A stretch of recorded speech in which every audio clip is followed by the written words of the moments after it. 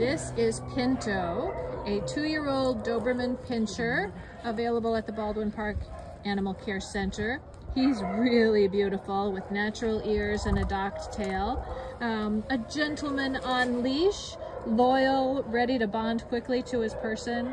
He is so handsome. If you need a Valentine who's going to be ready to go on walks and then spend a lot of time cuddling, Pinto could be your boy. Available now. ID number is A5605151. Oh, what a lover boy. Thank you, Pinto. Thank you.